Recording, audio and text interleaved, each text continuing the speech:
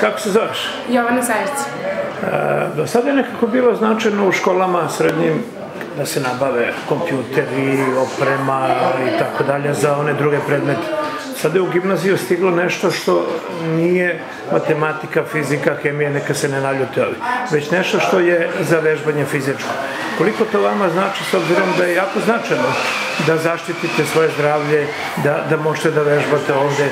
U ostalom, ovo što ćete ovde da radite, negde, negde bi se platilo, je li tako? Da, pa dosta je značajno, jer ipak kad ne, ne radimo odbojku ili nešto slično, mi dođemo ovde i vežbamo bicikla je isto značajna traka, trčimo, ako je hladno napolju da ne bi trčali svi zajedno u sali, neko može ovde pa na smenu da se menjamo i ba, dosta je značajno. Inače, sa druge strane, značajno je za vas, za vaše zdravlje, za vašu liniju, za, da. za, za da tako kažem, za osmeh, da, da se bavite sportom, upravo za ovaj osmeh. Da.